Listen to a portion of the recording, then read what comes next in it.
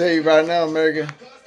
Hey, if y'all ain't got down on no Mac McDonald, bro, hey, y'all don't know shit, man. I don't get down on rap, but uh, this dude right here,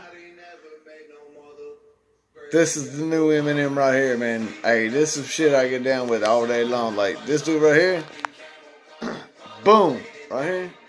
This dude, hey, it's going down, man. Hey, this dude is a badass motherfucker, man. He is what Eminem was when Eminem first started. Eminem, he got commercialized over time and shit. But this dude right here, he's the new Eminem all day long. Mac McDonald, man, hey, y'all need to check him out. This dude right here speaks nothing but the truth. And uh, a lot of people don't like him for speaking the truth, but hey, that's why I like this dude because I don't even like rap anymore. I listen to country or Christian music or old school stuff like uh, rock and roll. This dude right here.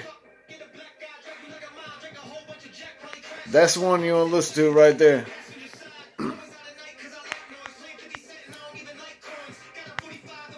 Mac McDonald, man.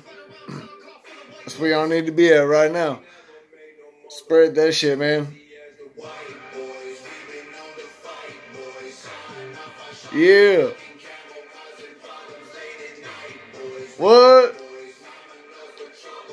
That's a dude, man.